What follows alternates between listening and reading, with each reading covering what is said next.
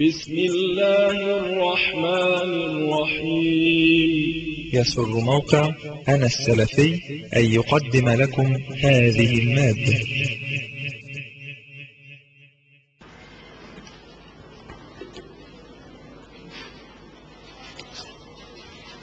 السلام عليكم ورحمة الله وبركاته. إن الحمد لله نحمده ونستعينه ونستغفره ونعوذ بالله من شرور أنفسنا ومن سيئات أعمالنا. من يهده الله فلا مضل له ومن يضلل فلا هادي له وأشهد أن لا إله إلا الله وحده لا شريك له وأشهد أن محمدا عبده ورسوله صلى الله عليه وسلم. ثم أما بعد نبدأ الليلة مشيئة الله في قصة الصحابي الجليل عمرو بن الجموح رضي الله عنه. عمرو بن الجموح رضي الله عنه. عمرو بن الجموح هو شيخ عزم على أن يطأ بعرجته الجنة. شيخ عزم على أن يطأ بعرجته الجنة. يعني كان رجل أعرج ومع ذلك عزم ونوى وقصد أن يدخل الجنة. كيف هذا؟ رجل يعزم على أن يدخل الجنة ينوي أن يدخل الجنة. نعم هو رجل أراد أن يدخل الجنة وكان صادقا فيما طلب. ولذلك نال ما أراد وحقق الله سبحانه وتعالى له هذه الأمنية السامية. وشاهد له النبي صلى الله عليه وسلم أنه من أهل الجنة.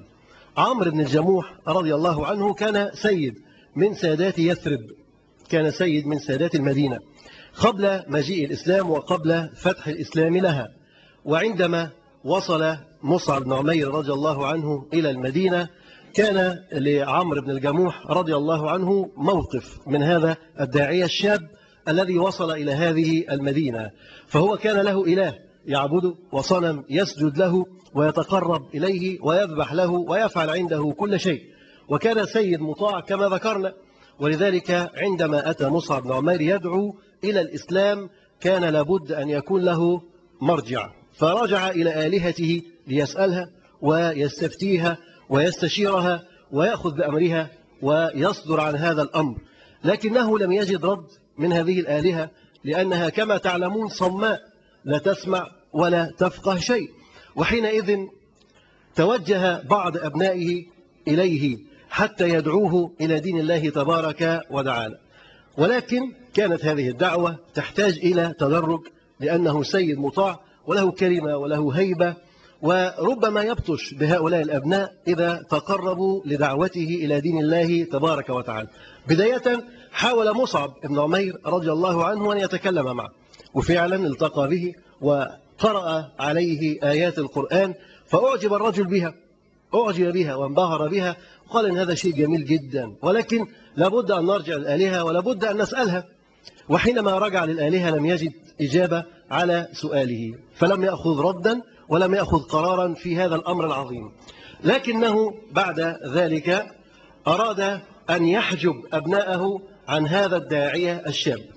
ويمنعهم عن هذا الداعية الشاب فوجه تعليماته المشددة إلى زوجته أن تمنع الأبناء من الالتقاء بمصعب بن عمير رضي الله عنه ولكن قد نفد السهم. كيف؟ قد التقى الأبناء بمصعب بن عمير وأسلموا على يد مصعب بن عمير رضي الله عنه. بل وزوجته كذلك كانت وقتئذ قد أسلمت. يعني هو بيكلمها وهي إيه؟ وهي مسلمة. يعني الموضوع قد انتهى. فقال وحذرها أن يقرب هؤلاء الشباب إلى مصعب أو يسمعوا له أو يتكلموا فقالت له ما بك لو سمعت لأحد أبنائك؟ اسمع. فالراجل اتخض. قال وقد صبئ ابن معاذ. فسمع أنه بس التقى بمصعب. قال أو صبئ؟ فهي طبعا شفقت عليه ورحمت رحمت هذا الرجل. قالت له لا لا لسه شوية. ما سبقش ولا حاجة. طبعا هو ما كفرش ده أسلم. ودخل دين الله تبارك وتعالى. فقالت كلا لم يسبق فسمع من ابنه فقرأ عليه آيات من القرآن. قرأ عليه فاتحة شيء يسير جدا. كل يوم نقرأها خمس مرات ولا نتأثر بها. ولا حول ولا قوة إلا بالله. لكن معاذ ابن عمرو بن الجموح يقرأ سورة الفاتحة. على والده عمرو بن الجمح فيتأثر الرجل بها تأثر عجيب. ويقول أو كل كلامه كهذا؟ كل الكلام يتكلم به مصعب. زي الكلام ده؟ جميل بهذه الطريقة. قال نعم. وأجمل من ذلك. ده في كلام جميل كمان. فقال له إذا يعني أستشير مناه. مناه هذه كانت الصنم الذي يعبده. يقال إن هو كان اسمه مناه أو مناف. دي أو دي مش مشكلة المهم أن هو صنم من حجر أو صنم من خشب. فقال لا حتى أستشير مناه. فطبعا معاذ آه، يعني آه، يريد أن يدفعه إلى الإسلام دفعا. فقال له ماذا تفعل مناه إنها لا تسمع إنها لا تدرك شيء إنها خشب. طبعا راجل اتنرفز خشب إزاي ده الإله؟ تقول عليه خشب؟ فغضب وقال له قلت لم آخذ قرارا حتى أرجع إلى مناه. خلاص الموضوع انتهى هيقفل الحوار. مش هنتكلم غير لما نرجع لمناه. وفعلا رجع لمناه. طبعا قعد يقول لها أنت عارفة الناس دول جايين علشان خاطرك. ما لهمش هدف غيرك. عايزين يضيعوك. بيقولوا نكفر بيك. ها عندك رد؟ وقام جاي معلق السيف في رقبتها وسابها ومشي. طبعا رجع لا لقى السيف ولا لقاها. لا رجع السيف. ولا لقاها وكان هناك خطة قام بيها معاذ ابنه وأخوه خلاد ومعاذ بن جبل أيضا كان ترب لهم قرين لهم صديق لهم في نفس سنهم. خطة قاموا بها هم الثلاثه علشان يدفعوا الوالد إلى الإسلام وإلى الدخول في دين الله تبارك وتعالى. وفعلا بعد ما نفذوا هذه الخطة كان من الرجل أن فكر وأدرك أن هذا الذي يعبده صنم لا يضر ولا ينفع فأسلم ودخل في دين الله تبارك وتعالى. وبعد ما أشرق قلبه وأنار الإيمان صدره استهل بوجه النبي صلى الله عليه وسلم واقترب منه ولازمه وجلس بين يديه صلى الله عليه وسلم يتعلم منه ويتربى بين يديه وقد كبر سنه. ستين سنة. تخيل بعد ستين سنة يدخل في دين الله تبارك وتعالى. يعني ستين سنة معرض عن ربه تبارك وتعالى. الناس كلها بتقبل وهو اللي مدبر الناس كلها قد تشربت وتشبعت بما أتى به النبي صلى الله عليه وسلم وهذا ما زال حتى الآن معرض بعد ستين سنة. فاضل إن العمر. إذا كان ستين سنة ولسه لم يسلم بعد. لكن قضاء الله عز وجل كله خير. شاء الله سبحانه وتعالى أن يقدر لهذا الرجل أن يدخل في دين الله قبل موته. ستين سنة. فدخل في الدين واستفاد ويعني انتعش قلبه وفؤاده بما يسمعه من آيات القرآن وكلام النبي صلى الله عليه وسلم وهبت الحروب. وكان لابد أن يدخل الحرب ويقاتل مع النبي صلى الله عليه وسلم وهو يسمع آيات تشوق وترفع الهمم نحو دخول الجنة فأراد أن يدخل الحرب. وكانت غزوة بدر فمنعه الأبناء من دخول الحرب. لماذا منعوه؟ لأنه أعرج لأنه أعرج. وربنا عز وجل بين لنا أنه ليس على الأعمى حرج. ولا على الأعرج حرج ولا على المريض حرج. هؤلاء معذورين ليس عليهم حرج. يعني لا عتب عليهم لا وزر عليهم. إن تخلفوا عن الحرب فهم أصحاب أعذار. فالأبناء كانوا يرون في والدهم عرجة شديدة. كان شديد العرج يعني لا يستطيع أن يمشي على رجله بسهولة. وهذا معناه أنه يكون صيد سمين للعدو. عندما يجدون رجل لا يحسن المشي فإنهم يصطادونه بسرعة. ولذلك منعوه الأبناء في غزوة بدر أن يدخل وكان ذلك فعلا لكن عندما جاءت غزوة أحد عزم عليهم أن يدخل. فأصروا ألا يدخل فذهب إلى النبي صلى الله عليه وسلم فالنبي عليه الصلاة والسلام أخبره أنه معذور وليس عليه عتب في أن يمكث ولا حرج في ذلك لكنه أراد أن يدخل الحرب فطلب النبي صلى الله عليه وسلم من أبنائه أن يأذنوا له بذلك فتركوه يدخل معهم الحرب وكان خلاد ابنه يسير دائما خلفه. ودارت المعركة وفي خضام المعارك سقط الوالد في هذه المعركة شهيدا وسقط بعده ابن خلاد بدقائق. يعني ده دوبك أخذ سيف من هنا وقتل والثاني وراه مباشرة. فقتل الاثنين في هذه المعركة العظيمة. ثم بعد ذلك بعد ما انتهت هذه المعركة مر النبي صلى الله عليه وسلم على قبور على جثث أصحابه ورأى جثة عمرو بن الجموح فشهد النبي صلى الله عليه وسلم له أنه كأنه يراه يمشي برجليه صحيحتين سليمتين في الجنة. فشهد له النبي عليه الصلاة والسلام بالجنة. زوجته هند أتت حتى تحمل جثمان زوجها وجثمان ابنها وجثمان أخوها كذلك. فقد ماتوا الثلاثة في هذه المعركة. أتت بجمل حتى تحمل هذه الجثامين الثلاثة. ولكنها بعدما حملت عليها الجثث وتحركت بهم قابلت عائشة رضي الله عنها فقالت لها كيف الأمر؟ فقالت أما الرسول صلى الله عليه وسلم فسالم. صحيح سالم. ليس به ضرر وهذا أهم شيء. وكل مصيبة بعده جلل. أي مصيبة بعد كده هينة؟ سهلة. أهم حاجة أن الرسول عليه الصلاة والسلام ينجو من القتل. قالت واختار الله عز وجل من المؤمنين شهداء. شوف كلامها. واختار الله عز وجل من المؤمنين شهداء. يعني في ناس ماتوا في الحرب ديت. فثم أرادت أن تستكمل المسيرة إلى المدينة لكن الجمل لم يتحرك. فأدارت وجهه نحو ساحة المعركة فانطلق مرة ثانية. كانت المعركة انتهت. فانطلق مرة ثانية حتى وصل إلى النبي صلى الله عليه وسلم وهو بأرض أحد. فحكت له شأن الجمل كلما وجهته نحو المدينة يتعثر ولا يريد أن يمشي. وإذا وجهته نحو ساحة المعركة فإنه يندفع. فالنبي عليه الصلاة والسلام قال لها إنها مأمورة هذه الناقة مأمورة. وأمر النبي عليه الصلاة والسلام أن تنزل هذه الجثث وأن تدفن في أرض المعركة مع من ماتوا في هذه المعركة.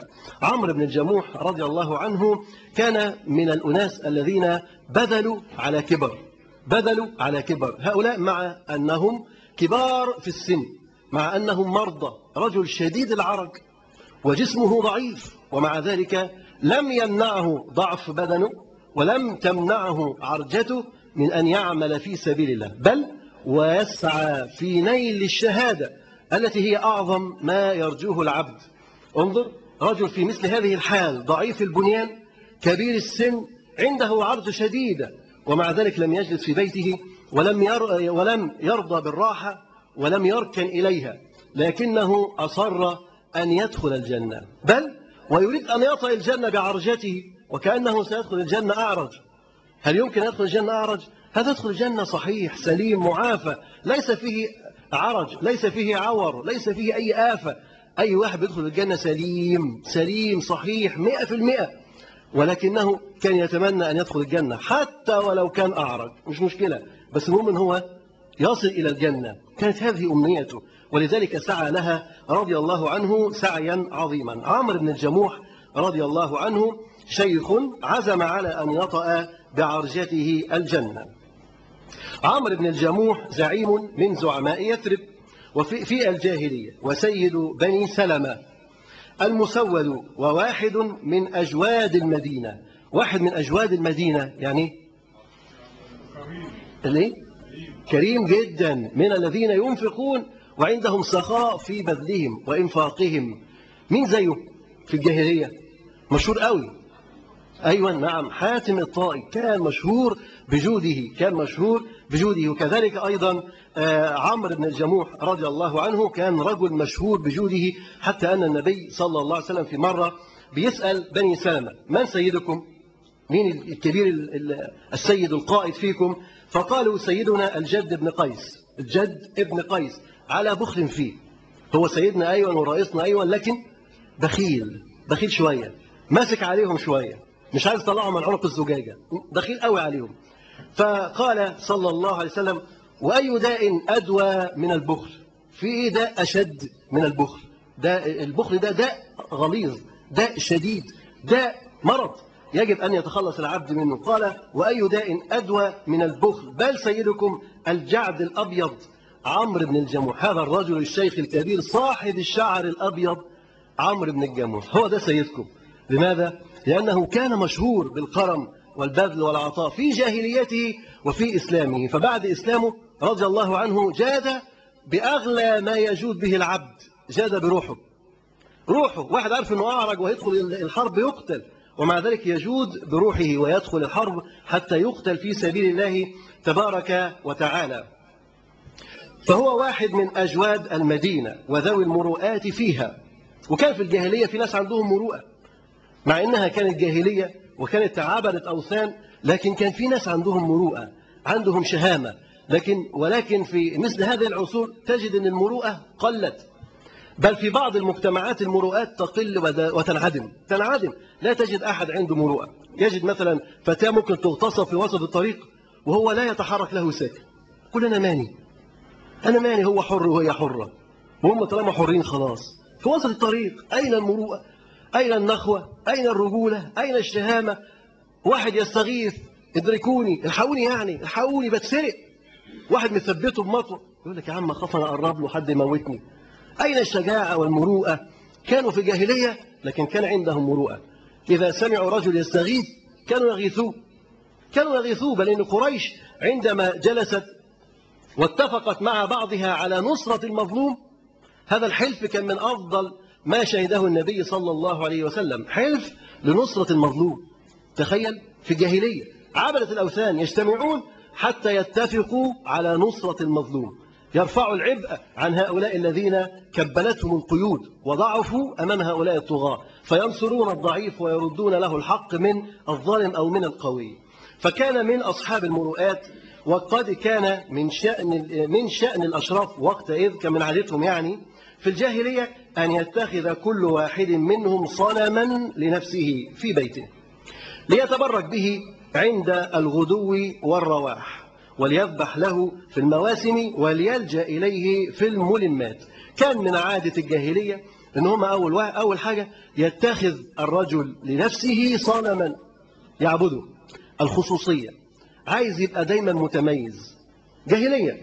عايز يبقى دايما متميز عن الناس فوق الناس بأي طريقة. بيعبدوا أصنام. هو عايز صنم مخصوص علشان. بيعبدوا آلهة متفرقة. هو عايز إله بمزاجه. ينقيه ويختاره ويعبده زي ما هو عايز. ما حدش يعبده غيره. تخصص يعني يريد أن يحصل على درجة من الميزة في هذه العلاقات حتى العلاقات الكافرة البائرة إن هم يعبدوا أصنام وأوثان. أيضا يريد أن يكون له تميز على أمثاله وأقرانه عايز صنم مخصوص يعبده. كذلك أيضا أهل الجاهلية في كل عصر يريد أن يكون لهم ما يميزهم عن غيرهم. تجد أهل الباطل دايما في باطل معين بيميزهم. أهل الطغيان في طغيان معين بيميزهم. كل طاغي في مكان له مظهر معين من مظاهر الطغيان. دوت في المكان الفلاني بيعمل كذا وكذا. ده في المكان الفلاني بيعمل كذا وكذا. وكأنه بيتميز بهذا الطغيان وبهذه الصورة من العتو في الأرض. فكان من عادتهم أن يتخذ كل واحد لنفسه في بيته صنما يعبده ليتبرك به في الغدو والرواح. يتبرك يعني يطلب البركة. عايز الخير والبركة تعم عليه.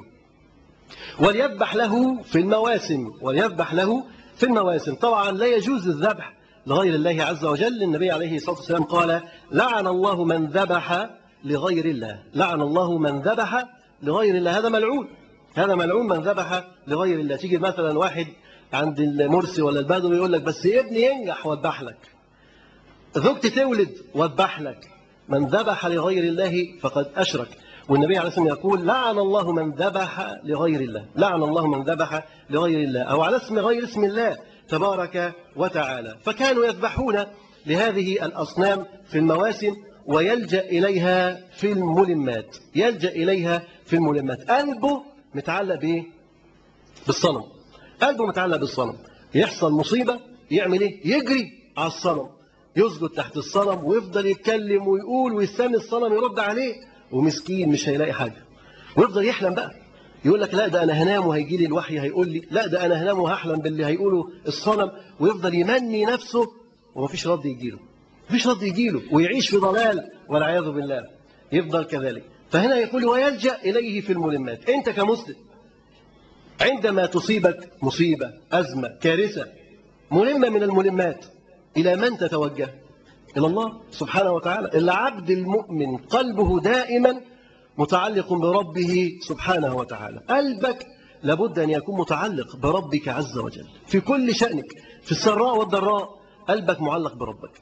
عايز تطلب من الله عايز تطلب من ربنا. في النعمة وفي المصيبة في الفرج وفي الكرب في الهم والغم وفي الفرح تتوجه إلى الله سبحانه وتعالى فشأنك كله بيد الله سبحانه وتعالى. لكنهم كانوا يلجؤون إلى غير الله عز وجل ويعلقون آملهم بهذه الأصنام وبهذه الأحجار. لابد أن يكون عندك أنت صدق توجه لله سبحانه وتعالى. تكون صادق فعلا في توجهك إلى الله سبحانه وتعالى. صادق في طلبك من الله سبحانه وتعالى حتى تجد ما تحب وما تطلب. وكان صنم عمرو بن الجموح يدعى مناه يدعى مناه أو زي ما قلنا مناف. وقد اتخذه من نفيس الخشب. اتخذه من نفيس الخشب. يعني نقى نوع من أنواع الخشب محترمة. وقام جاي عمل منه صنم يعبده. تخيل كده إن الواحد بينقي إلهه تروح كده على عند النجار تلاقي لوح خشب. الأصل كان لوح خشب. تقوم جاي واخده تحطه تحت الفارة وتفضل تعمل بيه بالفارة تقوم دخله المنشار تفضل تنشر بيه تقوم دخله على النحات. يفضل ينحت ويكسر ويب... وتدخله بعد كده يتورنش ويزيت ويظبط وي... بعد كده تحطه وتسجد له. إيه المخاخ دي؟ إيه المخاخ دي؟ سبحان الله. وكان سيد قومه. أمال ده لو كان واحد من عوام الناس كان عمل إيه؟ لما كبير اللي فيهم بيعمل كده. أمال الصغيرين راح يعملوا إيه؟ دي أزمة. ده هو اللي كان بينقي الخشب بنفسه. يعني مش كان بيجي له من بره ولا هو اللي بينقيه بنفسه. يعني ما حدش بيضحك عليه. ده هو اللي بينقي الخشب بنفسه. ولذلك كان أحدهم يصنع صنمه من العجوة. فإذا جاع أكله. يقول لك هو في منفعة. يعمل الصنم من العجوة. يجي يروح يشتري شوية عجوة حلوين كده أهوت ويطلع البذر منهم ويفضل يعمل صنم. وخلاص الصنم ده يفضل يعبد فيه طول ما إيه؟ طول ما فيه أكل وشرب. طب جاع. خلاص لا صنم ولا إله ولا حاجة. اقلب الإله ده ويبدأ ياكله على طول. خلاص انتهت القضية. بسرعة. يتبرأ حتى من الآلهة. أهم حاجة مصلحته الشخصية. أهم حاجة إن هو يعيش. أهم حاجة إن هو ياكل. ولذلك كانوا يفعلون هذا. هذه أشياء كلها مزيفة مزورة. كان دايما يعني يضع عليه العطر ويحلي رائحته. لأن أهل الباطل دائما أصحاب مبادئ ومفاهيم خبيثة تحتاج أن توضع في صورة وفي قالب جيد مقبول لكن هي في الأصل خبيثة. تجد مثلا بعض الناس يدعو الناس إلى أن يعيشوا متحررين بلا أديان. لكن خلي دينك في قلبك خلي الدين في الجامع. هو إحنا بنقفل الجوامع. روح صلي في الجامع. واللي عايز يصلي في الكنيسة يروح يصلي في الكنيسة. بس كل واحد المهم يصلي في قلبه. هيفتح جامع جوه قلبه. صلي في قلبك. بلاش تبدي مظاهر الإسلام. إيه ده؟ يقول لك دي علمانية أنت تعيش كده متحرر متمدين ويزينها ويزخرفها والتطور. هو ده العطر اللي بيحطوه على الصنم. هو ده العطر اللي بيزينوا بيه الأصنام ويحلوا بيه ما شكلها وريحتها. لكنها في الحقيقة قوانين خبيثة ومفاهيم خبيثة يجب علينا أن نزيلها تماما أن نبترها من واقعنا. هذه الأصنام لابد أن تحطم. هذه الأصنام لابد أن تكسر. هذه الأصنام لابد أن تزول من قلوب عابديها. هذه الأصنام لا ينبغي أن تنشر وأن يعبدها الناس ولكن الناس لابد أن تتحرر من هذه المفاهيم والقيم والمبادئ المخالفة لدين الله تبارك وتعالى. كل دين غير دين الله عز وجل باطل سواء كان نصرانية أو علمانية أو ديمقراطية أو اشتراكية أو ليبرالية أو رأسمالية كل ده باطل. هذه أديان باطلة. يعبدها الناس من دون الله سبحانه وتعالى. نظم وقوانين ومناهج حياة ودساتير يضعونها بأنفسهم كما اختار عمرو بن الجموح لوح الخشب ليجعله صنما وإلها يعبده هو اللي حاطط القانون بمزاجه. ولذلك أنت أحيانا تعيش في دولة لا قانون. وقت ما يحب يعمل قانون يعمله. يشتري له خشب ويفصل. مفيش مشكلة أبدا. دولة الأصنام. أحيانا في أماكن كثيرة تجد الناس تعيش في وثنية تعيش في معابد متحركة. كل شوية قوانين جديدة وأصنام جديدة والناس تعبدها من دون الله. وتمشي وراها وتتخذها منهاج لها في حياتها. هذا كله باطل. فكل دين غير دين الله عز وجل باطل في الدنيا وباطل في الآخرة. لابد أن نتحرر نحن من عبودية هذه الأشياء. ولابد كذلك أن نقوم بواجب تعبيد الخلق لله سبحانه وتعالى. وعلينا دور عظيم أن نحطم تلك الأصنام في قلوب من يعبدونها. وألا نجعل تلك الأصنام تدخل في قلوب أناس آخرين طاهرين ما زالوا على الفطرة لم يتدنسوا بهذه الأرجاز ولا بهذه الأوثان. يجب علينا أن نحمي الناس من دخول هذه المفاهيم وهذه الأفكار إلى قلوبهم. أوثان تعبد من دون الله تبارك وتعالى. يختارها عابدوها ويصنعها بأيديهم بأيديهم يصنعونها. ثم يحملون الناس على عبادة تلك الأصنام. هذه قوانين وكأنها منزلة. هذه قوانين وكأنها آلهة تعبد. لا هذا كله باطل يجب إزالته. وكان الرعيل الأول يعي جيدا حقيقة هذه الأصنام. ولذلك لم يبدأ الرعيل الأول بتحطيم تلك الأصنام وهي قوالب حجارة. ولكن حرص الرعيل الأول على تحطيم تلك الأصنام في قلوب عابديها. الأول الصنم يتحطم جواك. لما الصنم يتحطم جواك سهل جدا تزق الصنم اللي على الحيطة ده يقع. سهل جدا. لكن لو لم يتحطم الصنم الذي بقلبك لا يمكن أن تتحطم تلك الأصنام المرفوعة. وقالوا أعلو هبل. أعلو هبل يعني فليعلو ويظهر دين هبل. هذه الآلهة المزعومة. بل الله أعلى الله أعظم الله أجل. دين الله عز وجل أعلى من هذه الأديان كلها. هؤلاء وضعوا تلك الآلهة الباطلة. بل وكان شديد الإسراف في رعايته. مش يحط القوانين وبس مش يصنع الآلهة وبس لا ويرعاها. ويرعاها بكل ما يمكن رعايته بجميع وسائل المقروءة والمسموعة والمرئية وجميع المؤثرات التي تعمل على رعاية وحماية تلك الأصنام كان يرعاها. يقول وكان شديد الإسراف في رعايته والعناية به وتضميخه بنفائس العطور بنفائس الطيب. كان يطيبه ويعطره عايز يغير ريحته الخبيثة عايز يغير شكله الغير مقبول القذر. يحاول أن يغير هذه الأشياء حتى يضحك على البسطاء. حتى يضحك على هؤلاء السجر الذين لا يعرفون شيء في دين الله عز وجل يضحك عليهم. فيزين ويزخرف هذا الباطل وهذا شأن أهل الباطل. دائما يزخرفون باطلهم. يقول وكان شديد الإسراف في رعايته والعناية به وتضميخه بنفائس الطيب. كان عمرو بن الجموح رضي الله عنه قد جاوز ستين من عمره. كان لسه أسلمش كان ستين من عمره قد جاوز العمر. حين بدأت أشعة الإيمان تغمر بيوت يثرب بيتا فبيتا. على يد المبشر الأول مصعب بن عمير رضي الله عنه. كان عنده كم سنة؟ ستين سنة. يقول كان عنده كان عمرو بن جموح رضي الله عنه قد جاوز الستين عام حين بدأت أشعة الإيمان تغمر بيوت يثرب بيتا فبيتا. انظر بيتا فبيتا. بيت بيت. خطوة خطوة. واحد واحد. مفيش تسرع مفيش عجلة. ولكن الأمر يسير برفق بتريث. خطوة خطوة. أهم شيء أن الأهداف واضحة. ماذا يريد مصعب رضي الله عنه؟ هدفه واضح. ماذا يريد مصعب؟ تحطيم الأصنام. مصعب أتى لتحطيم الأصنام. ولكن أي أصنام؟ تلك التي في القلوب. هي التي أراد أن يحطمها مصعب. دي الأولانية. هو ده الهدف الأساسي اللي جاي له مصعب. أنه يحطم الأصنام اللي جوه القلب. الهوى حب الرياسة حب الشهرة عبادة الأصنام الغرور العجب الكبر تلك الأمراض. أراد مصعب أن يحطم تلك الأصنام في القلوب أولا. الهدف واضح ومحدد تحديدا تاما. ثم إن مصعب وضع الخطة للوصول إلى تلك الأهداف. ولكنه لم يمشي للوصول لتلك الأهداف دفعة واحدة ولكنه صار إليها هدفا هدفا. بيتا بيتا. خطوة خطوة. يعني مصعب مش مستعجل. مصعب يعرف أن الأمر صعب وأن القضية كبيرة وأن الأمر يحتاج إلى بذل جهد ووقت وعناء ومشقة ولذلك يمشي رويدا. يمشي رويدا لا يتعجل.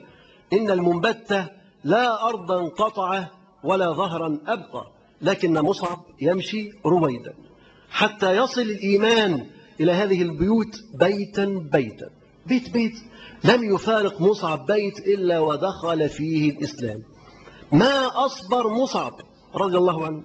كان صبر عظيم حينما ذهب وانتظر حتى يدخل إلى بيت بيت ويخاطب أهله ويجلس إليهم ويحاورهم ويأخذ منهم. مش ممكن يطلع من البيت إلا وقد جذب أحدهم أو كلهم أو بعضهم إلى دين الله تبارك وتعالى. ما ترك بيت في المدينة إلا ودخله مصعب رضي الله عنه. ذلك الداعية الشاب المبشر الأول الذي وصل إلى المدينة وكان عمره لا يتجاوز الثامنة, عش... الثامنة والعشرين من عمره. مصعب بن عمير يوم ما راح المدينة كان عمره تقريبا 28 سنة. 28 سنة يعني شاب زي أي شاب فينا كده 28 سنة. تخيل كده في شاب عمره 28 سنة يستطيع أن يقوم بدعوة عظيمة عريضة كبيرة كهذه الدعوة. يتحمل مسؤولية دين بأكمله. يقوم بمهمة الأنبياء في هذا المكان. ممكن؟ واحد عنده 28 سنة. ممكن يعمل كده؟ مصعب بن عمير كان طرازا وكان نموذجا فريدا. مصعب بن عمير رضي الله عنه مطهر يثرب بالقرآن. مصعب بن عمير رضي الله عنه نبراس الدعاء الفتى المنعم جبل الرحمات والبركات. مصعب بن عمير الشاب ده جبل من الرحمات والبركات والعطايا والنور رضي الله عنه. غمر شباب المدينة بهذا النور وبهذا الإيمان الذي تأثر به مصعب رضي الله عنه من النبي صلى الله عليه وسلم. مصعب كان غرة شباب وفتيان قريش وقتئذ وكان أوفاهم شبابا وبهاء يعني كان من أجملهم وكان من أغناهم. وكما ذكرنا قبل ذلك أن مصعب بن عمير كان يضع من العطور. ما إذا مر يعرف المار بعده أن مصعب قد مر من هنا. من قوة العطر هو بيحطه وجماله وبهاءه. لما كان يحط العطر قبل الإسلام وكان في في مكة يحط العطر ويعدي بس من مكان كده. بعدها بمدة حد يعدي من نفس المكان يقول مصعب عدى من هنا. مصعب عدى من هنا. كان منعم رضي الله عنه ولكنه حينما أسلم تغير وضعه تماما. تقدم حين نادت المغارم. حين كانت الحروب كانت الشدة كانت الأزمات كانت الأمور شديدة عصيبة كروب. هو كان من المتقدمين رضي الله عنه. لم يتقدم وقت الرخاء ولكنه ظهر وتقدم وصار إلى الله تبارك وتعالى وقت الشدة. وقت الشدة. حينما كان النبي عليه السلام في شدة وكرب والصحابة يعذبون ويضطهدون ويحاصرون. أسلم مصعب رضي الله عنه. لم يسلم والأمور مفتحة جميلة مرشوشة بالزهور والورود لا. بل أسلم والحال على أصعب ما يكون. فكان إسلام مصعب رضي الله عنه. تقدم حين نادت المغارم ورحل إلى ربه قبل مجيء المغانم. مات وما شافش أي مغنم ما خدش حاجة. هو دوت اللي صدق. وغيره طبعا كانوا صادقين لكنه أصحابه يغبطوه إن هو بذل وما خدش حاجة. ما خدش حاجة من الدنيا. كل حسابه في الآخرة. كل حسابه في الآخرة. لكن كثير من أصحابه بذلوا فعلا وصادقين فعلا وخدوا في الدنيا. خايفين لحسن يقل شوية عطائهم في الآخرة. لكن ربنا عز وجل كريم. الله عز وجل كريم جدا جدا. فلا يخاف ولا يحزن. مصعب بن عمير رضي الله عنه شاب يقود ويسير جبال الإيمان في هدوء وقوة. مصعب بن عمير يسير جبال الإيمان في هدوء وقوة. انظر شاب رزين هادئ قوي متمكن من دين الله تبارك وتعالى. من رباه؟ النبي صلى الله عليه وسلم. ده تربية الرسول عليه الصلاة والسلام. نحن لماذا نتكلم عن مصعب رضي الله عنه والكلام عن عمرو بن الجموح؟ لأن مصعب بن عمير ذلك المربي الذي تمكن بفضل الله وتوفيقه من تعبيد المدينة لله تبارك وتعالى. وقاد وساد قلوب أهل المدينة إلى الله تبارك وتعالى. كيف كان؟ كيف وصل إلى هذه الدرجة؟ وشاب عنده 28 سنة. 28 سنة؟ ويفعل هذا؟ يقود هذه الجبال العظيمة حسبك أن يسلم على يديه رجل كأسيد بن حضير رضي الله عنه تتنزل الملائكة لسماع القرآن منه. حسبه رضي الله عنه أن يسلم على يديه رجل كمعاذ رضي الله عنه معاذ بن جبل سعد بن معاذ رضي الله عنه الذي اهتز لموته عرش الرحمن. تخيل واحد يسلم على إيديه ناس كتير بس منهم اثنين واحد منهم تتنزل الملائكة لسماع قرآن يتلى بصوته. واحد تاني يهتز لموته عرش الرحمن. دول كلهم تلاميذ مين؟ تلاميذ مصعب. تلاميذ مصعب دور المربي خطير. خطير. النبي صلى الله عليه وسلم لم يرسل مصعب بمدافع ولا بارجات ولا طائرات ولا صواريخ ولا قنابل عنقودية. وإنما أرسل مصعب بالقرآن. أرسل مصعب بالقرآن ففتح قلوب العباد وفتح البلاد. مصعب بن عمير كان رجل تربى في دار الأرقم ابن أبي الأرقم رضي الله عنه. دخل الدار وقد دخلها وهو منعم مطرف ولكنه حين دخل دار الأرقم ابن أبي الأرقم كان يعلن للعالم بأسره أن الستار قد أسدل. على هذا الشاب الفتى المدلل مصعب بن عمير. أسدل عليه الستار. خلاص ما عادش في مصعب المدلل لكن أصحب في مصعب تاني الذي يتحمل المهام الذي يحمل هم الإسلام. مجرد ما يدخل بس ويعدي عتبة دار الأرقم ابن أبي الأرقم تتغير الأحوال. بعد ما كان الشاب المدلل الشاب المدلل الفتى فتى قريش الذي يفعل ويفعل أسدل الستار على هذه الصفحات الطويلة التي عاش فيها منعما وأصبح الآن شخصية جديدة. رجل جديد رجل العصر. رجل العصر الذي يكون سبب في تعبيد هؤلاء أهل المدينة بين يديه رضي الله عنهم. يمشي بكل ثقة في طريق الحق والخير إلى دار الأرقم ابن أبي الأرقم. مرت عليه سحائب الإيمان فغمرت قلبه. مرت عليه سحائب الإيمان. إيمان غمر قلبه. تشرب بهذه المعاني الإيمانية فوضع رجله في الأرض وكانت رأسه تناطح الجوزاء. رأسه عالية شامخة وهو شاب عنده 28 سنة. 28 سنة بس. يقوم بهذا الإيمان القوي المتين حيث تربى على يد النبي صلى الله عليه وسلم. مر النبي عليه الصلاة والسلام بمصعب بن عمير وهو في ساحة القتال كان يقاتل مصعب.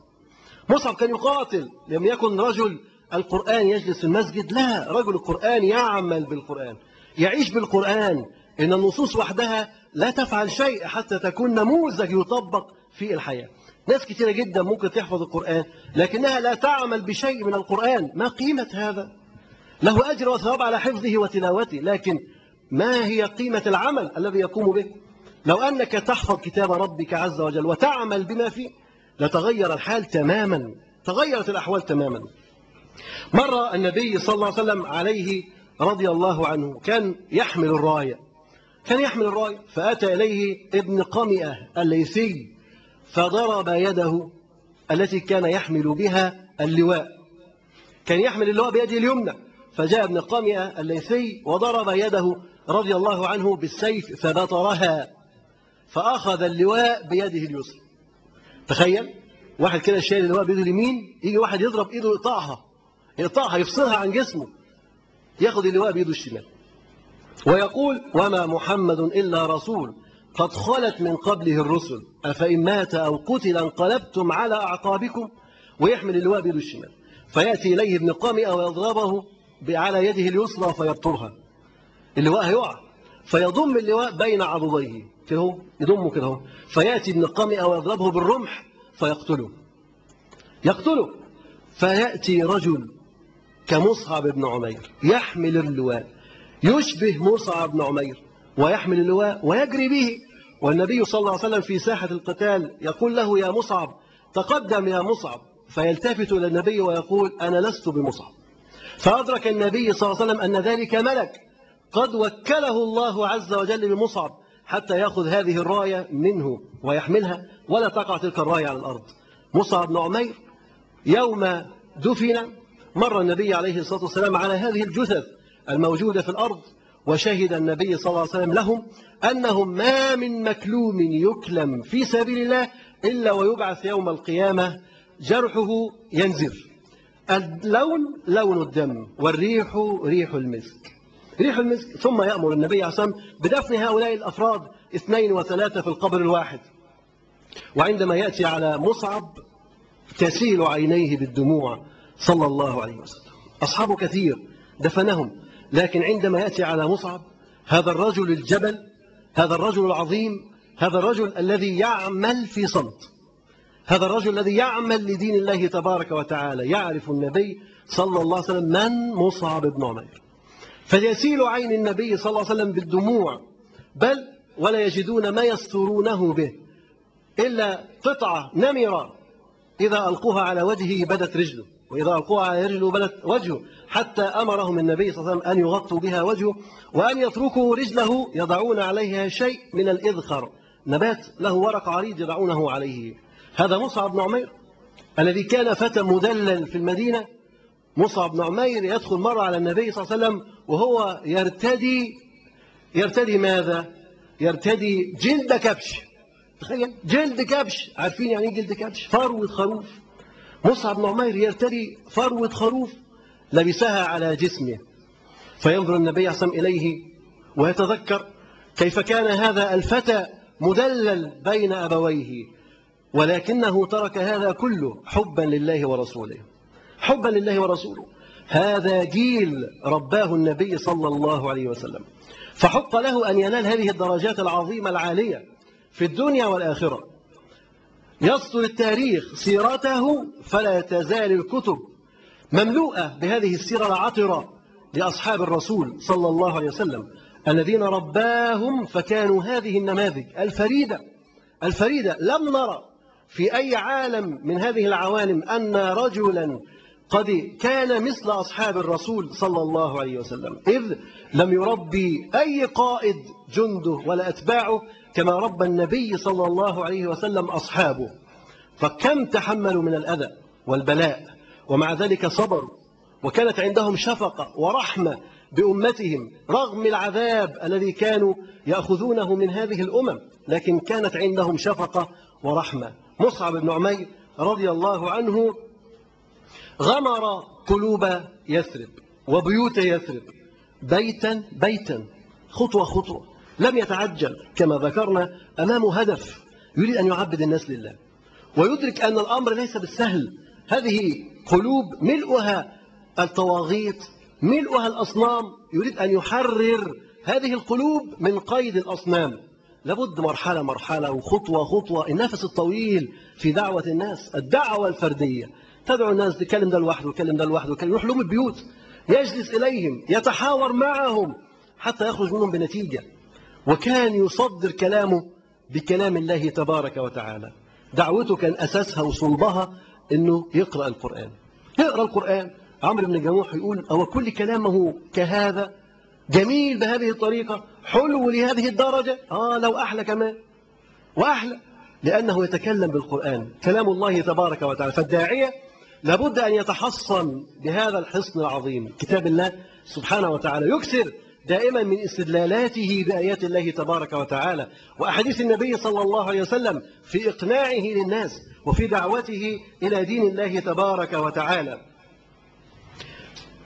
يقول فغمرت هذه البيوت بيتا بيتا على يد المبشر الأول مصعب بن عمير رضي الله عنه فآمن على يديه أولاده الثلاثة. أولاد مين؟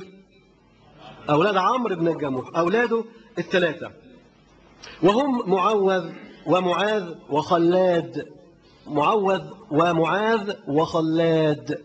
ومعوذ ومعاذ وخلاد هؤلاء الثلاثة أسلموا ومعهم صديقهم والترب لهم وهو معاذ بن جبل رضي الله عنهم. وكان معهم أيضا عبد الله بن حرام أخو هند. يعني أخو زوجة عمرو بن الجموح أيضا كان أسلم مع هذه المجموعة وكان صديق حميم لعمرو بن الجموح. وشهد عبد الله ومعاذ بن عمرو بيعة العقبة. عبد الله بن حرام ومعاذ أيضا معاذ بن عمرو بن الجموح الاثنين شهدوا بيعة العقبة. يعني راحوا وبيعوا النبي صلى الله عليه وسلم. وفي هذه الليلة المباركة عاد عبد الله بن حرام وأصبح نقيبا قد عينه النبي صلى الله عليه وسلم. نقيبا. النبي صلى الله عليه وسلم كان معين مصعب بن عمير أمير على المدينة قائد على هذه المدينة.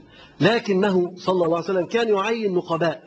لكل مكان لكل قبيلة كان يجعل لهم رجل يعلمهم ويعني يأخذ بأيديهم إلى الطريق ويرجعون إليه. يعين لكل مجموعة قائد. بحيث أن كل هؤلاء يرجعون إلى مثلا عبد الله وعبد الله بن حرام يرجع إلى مصعب بن عمير فكان في ترتيب كذلك في العمل داخل المدينة. لم تكن العملية هكذا عملية عشوائية ولكن الأمر كان مرتب ومنظم بحيث أن الدعوة تتحرك بصورة منظمة بصورة جيدة فتؤتي نتاجها وتؤتي ثمارها.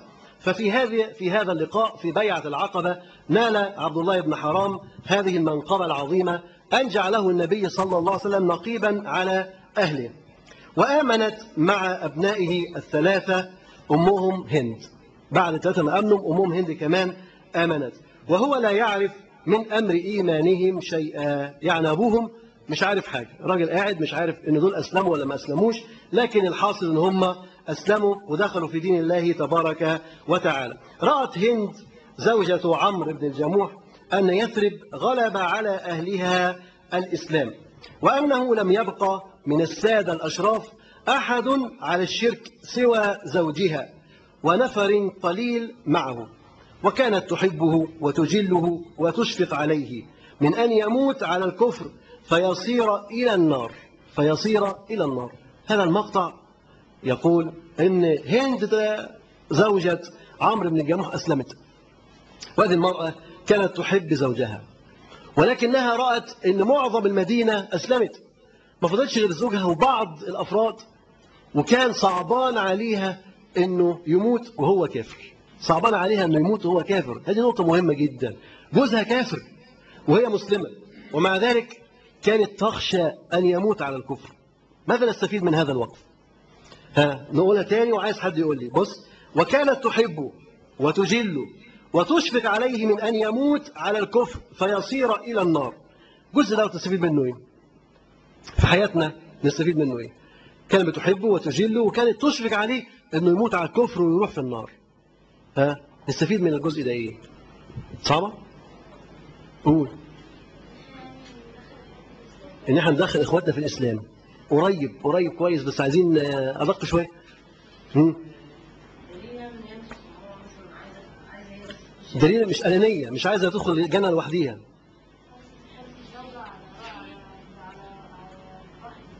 نجاة زوجها. حرص الزوجة على نجاة زوجها. كويس ده في مجال الأسرة جميل جدا. أنت كداعي كداعي بصفة عامة بعيد عن الأسرة أنت كداعي بصفة عامة إيه اللي تعمله؟ الآية دي تستشعر أو الجزء ده تستشعر منه إيه؟ إحنا قلنا الزوجة بتكون حريصة على زوجها عايزة له الهداية. الأخ حريص على أخوه عايزه عايز له الهداية. أنت كداعي الله عايز إيه؟ المودة والرحمة. إيه تاني؟ مم. بداية الدعوة بالأقربين. ماشي كويس جدا. إن هي عايزة تبدأ الدعوة بالأقربين خايفة على زوجها. أنا عايز صفة عامة.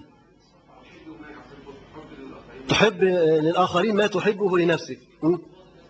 إنقاذ الناس من الله مهمة جدا جدا. هي ده هذا مهمة كل صادق إنقاذ الناس من النار مهمة كل صادق إنقاذ الناس من النار أنت كنت داعي صادق يبقى مهمتك فعلا إنك تنقذ الناس من النار بس ده كافر. يعني أنت عايز تدخل واحد مسلم الجنة وهو إن شاء الله مسلم داخل الجنة. إحنا بنتكلم على الكافر. الكافر مع إنه كافر لكن أنت تكون حريص على إنه يدخل الجنة. إزاي؟ مش هو على كفره. لا إنك تدعوه إلى دين الله تبارك وتعالى. إنك تكون حريص على دعوته تكون حريص على استقامته تكون حريص أن ينتقل من الكفر إلى الإيمان. ودوت كان حرص الرسول عليه الصلاة والسلام تماما. اسمع لهذا الحديث. فعائشة رضي الله عنها بتحكي أو بتقول للنبي صلى الله عليه وسلم هل أتى عليك يوم كان أشد من يوم أحد؟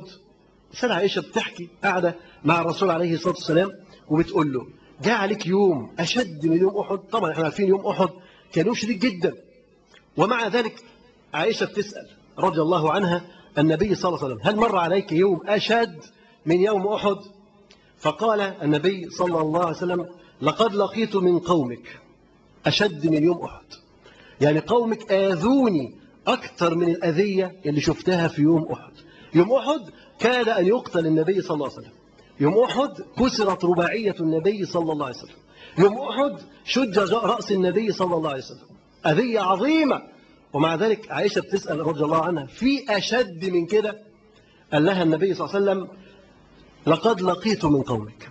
يعني ما لقيت من قومك كان أشد. إيه اللي حصل؟ بيحكي لها موقف. وكان أشد ما لقيته منهم يوم العقبة. إذ عرضت نفسي على ابن عبد يليل ابن عبد كلاب.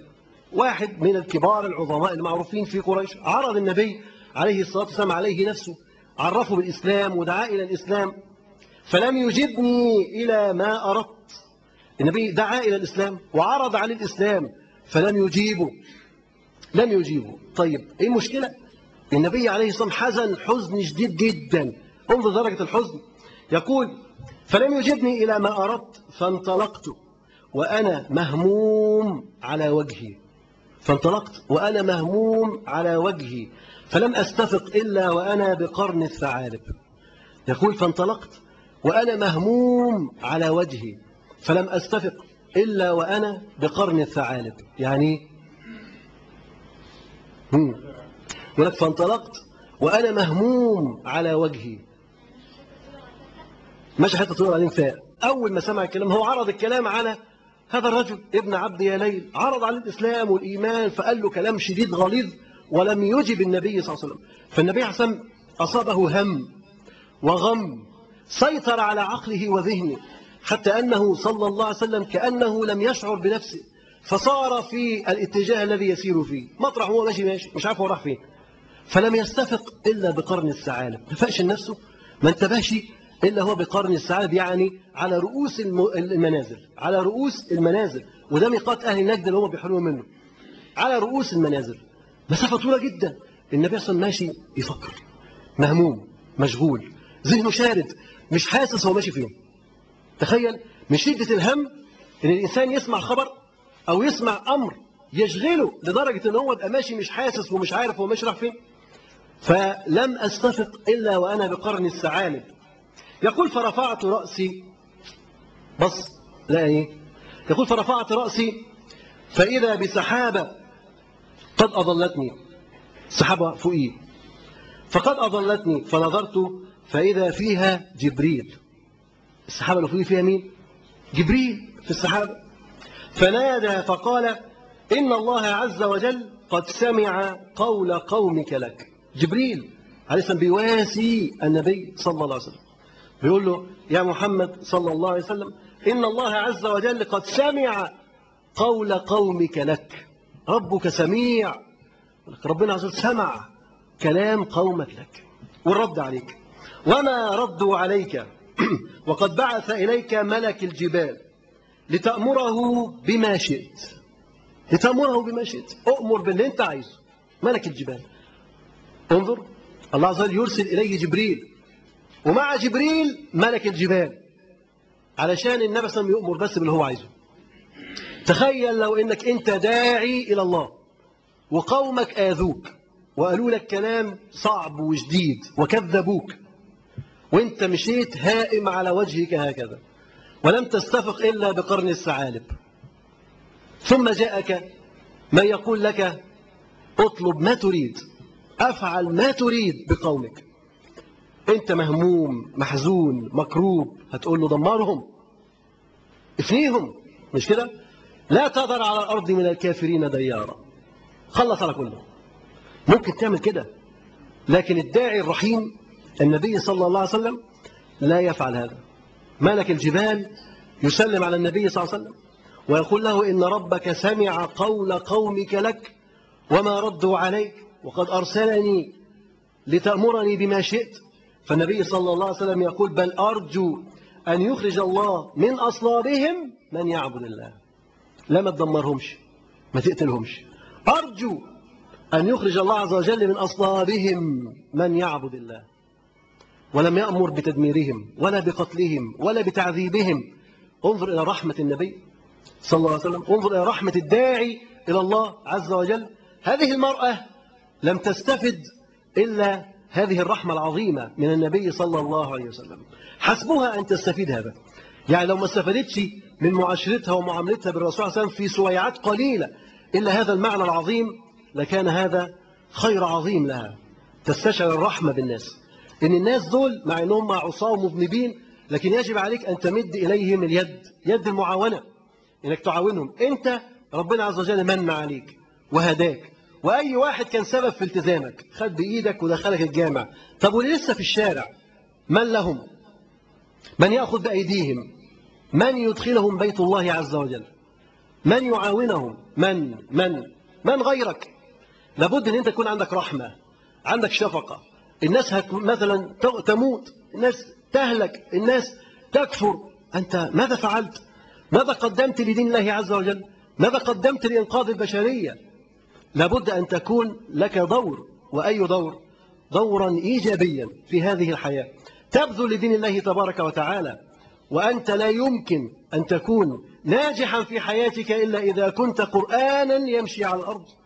يجسد هذه المفاهيم والمعاني التي أمر بها النبي صلى الله عليه وسلم. تكون نموذج كمثل هذه النماذج الفريدة التي رباها النبي صلى الله عليه وسلم.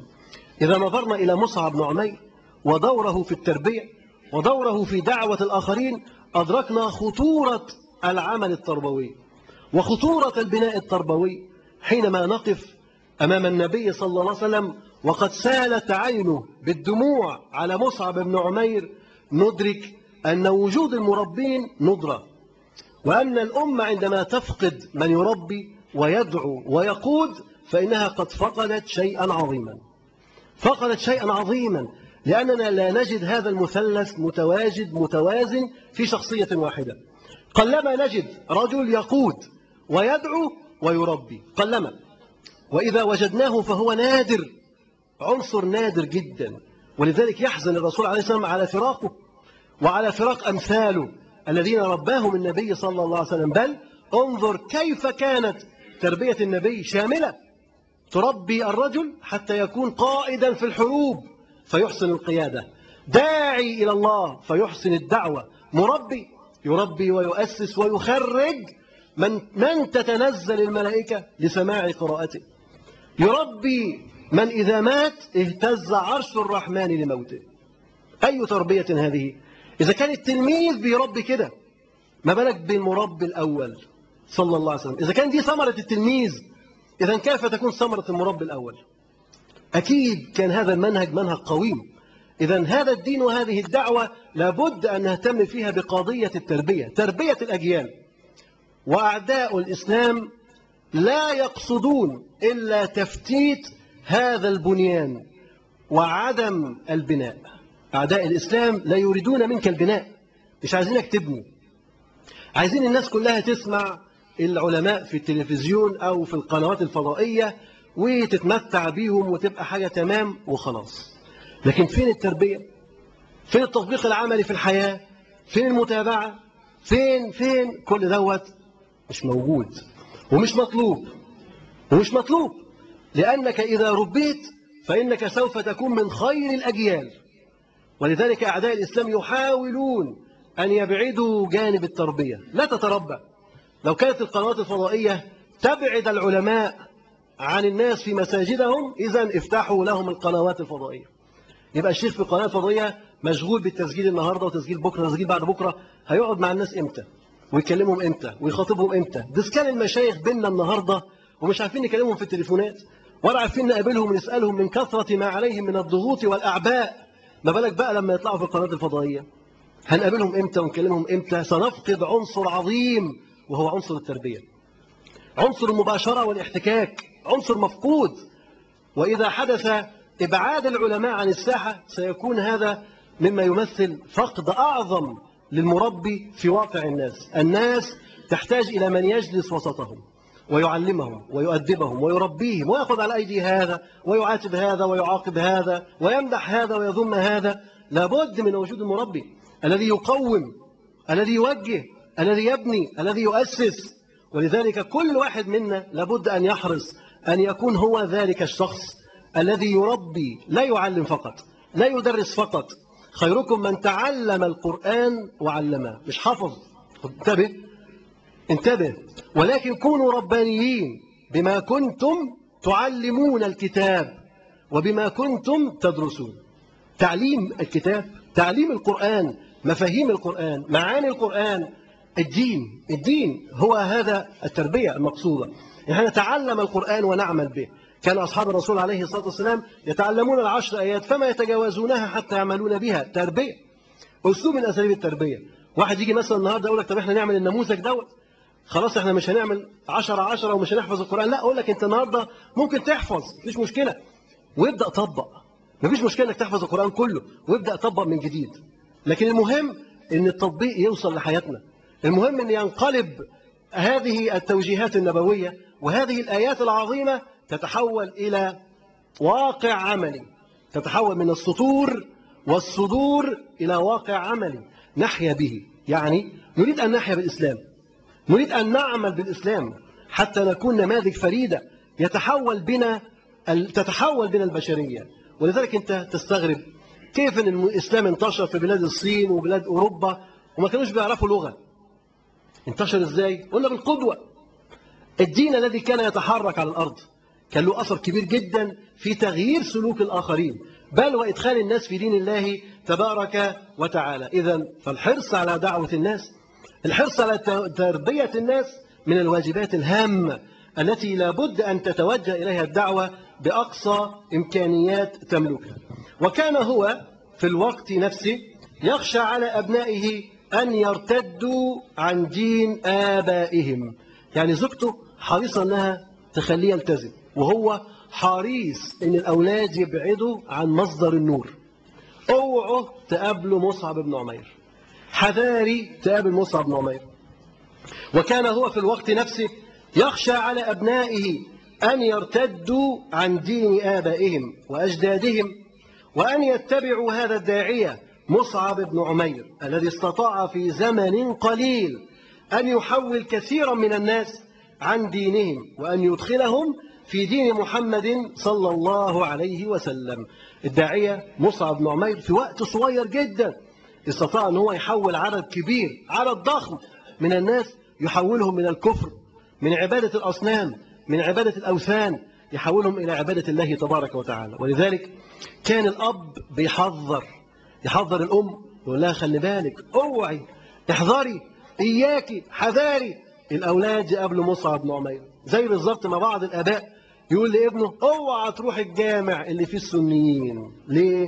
هيعلموك الإرهاب وهيعلموك إزاي تصلي وتحط إيدك على صدرك بقى ويقول لك اتني البنطلون ولا قصه. لأ التزام ماشي بس يا رب دقني لأ واثر قفطاني لأ. مفيش لأ مفيش اشتراط مفيش اشتراط في الدين. خذوا ما آتيناكم بقوة. لازم تاخد الدين كله. مش حبة حبة وحتة حتة وزي ما انت عايز لا. الناس يحذرون ابنائهم من الدخول في دين الله. كما يفعل عمرو بن الجموح بالضبط. يوم اياكي احذري إن الأولاد يقابلوا مصعب. ليه؟ مؤثر قوي. تخيل مصعب مؤثر قوي. مجرد ما هتقابله هتتأثر. هل إحنا وصلنا من درجة الدعوة والتأثير إن أنت تبقى مؤثر قوي؟ بحيث انك انت مجرد الناس بس ما تشوفك تتأثر بيك. مصعب بن عمير كانوا خايفين بس من رؤيته. اوعي يقابلوه اوعي يكلموه ولا يقعدوا معاه. عارفين ان مقابلة تعني دخولهم في الإسلام. مقابلة واحدة تعني دخولهم في الإسلام. هذا لم يكن وحده من قوة مصعب بن عمير لكن قوة إيمان مصعب هي التي جعلته كذلك. قوة إيمان حاجة عظيمة جبال. جبال من الإيمان سيول من الإيمان غمرت قلب مصعب بن عمير رضي الله عنه. إخلاص إخلاص كان في قلب مصعب بن عمير إخلاص يحرك الجبال. ولذلك كان الناس تقعد قدام مصعب حاجة بسيطة جدا وبص الراجل يسلم. يسمع الفاتحة يسلم. يسمع كل هو الله أحد يسلم. الآيات الصغيرة في مبناها اللي إحنا بنسمعها وبنشوفها وبنقراها كل يوم الواحد منهم يسمعها ينبهر وتكون سبب في دخول الإسلام. إن تأثير الداعي إلى الله عز وجل يكون قوي وعظيم إذا كان الداعي على صلة وارتباط وقوة مع ربه تبارك وتعالى. طول ما الداعي على قوة في ارتباطه مع ربه عز وجل طالما قلبك معلق بربك عز وجل طالما أنك تستمد العون والتوفيق من الله سبحانه وتعالى طول ما قلبك عامر بحب الله عز وجل ورسوله صلى الله عليه وسلم يكون النصر والتوفيق والتسديد في حياتك كلها. الإخلاص عنصر عظيم وهام في نجاح العمل. مصعب بن عمير عندما كان يجلس في الحديقة وأسعد بن زرارة يأتي يجلس بجواره فأسعد بن زرارة يقول له هذا سيد قومه هذا سيد قومه فاصدق الله فيه. يعني اللي جاي لك ده سيد قومه. يعني لو أسلم ما فيش اتنين هيتخلفوا بعده. هو بس يسلم والباقي كله هيسلم وراه. قال له هذا سيد قومه طب إيه المطلوب؟ إيه المطلوب عشان الراجل ده يدخل في الإسلام؟ قال له فاصدق الله فيه.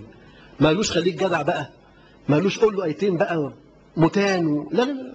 قال له فاصدق الله فيه. خليك مخلص. طب مصعب مخلص. قال له بس إحنا عايزين درجة إخلاص أعلى. عشان الراجل ده ده سيد قومه. ومجرد ما يسلم هيكون الفتح على إيديه. هيكون فتح عظيم. ما فيش اتنين هيتخلفوا من قومه. كلهم وراه. فاصدق الله فيه. شوف اللي محرك الأساسي. المحرك الأساسي في الدعوة إلى الله عز وجل الإخلاص. قلوب العباد بين إصبعين من أصابع الرحمن يقلبها كيف يشاء. قلوب العباد كريشة بفلاة يقلبها الله عز وجل كيف يشاء. تخيل قلبك انت كده زي ريشة في صحراء وهبت عليها العاصفة. الريشة دي بتتقلب إزاي؟ بسهولة ولا صعوبة؟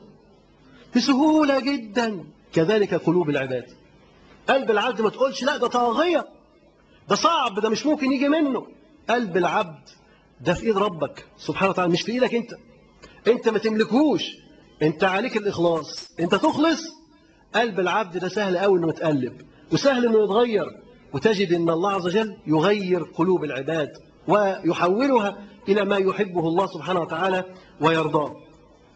وكان هو في الوقت نفسه يخشى على أبنائه أن يرتدوا عن دين آبائهم وأجدادهم وأن يتبعوا هذا الداعيه مصعب بن عمير الذي استطاع في زمن قليل أن يحول كثيرا من الناس عن دينهم. وأن يدخلهم في دين محمد صلى الله عليه وسلم. فقال لزوجته يا هند احذري أن يلتقي أولاء أولادك بهذا الرجل. قل احذري أن يلتقي أولادك بهذا الرجل. يعني مصعب ابن عمير. حتى نرى رأينا حتى نرى رأينا يعني لغاية ما ناخد قرار فيه. يا ترى إحنا هنسلم ولا مش هنسلم